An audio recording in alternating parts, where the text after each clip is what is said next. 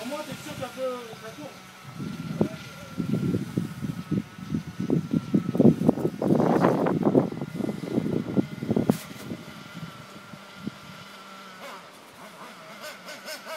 s'enlever du pied l'oreille.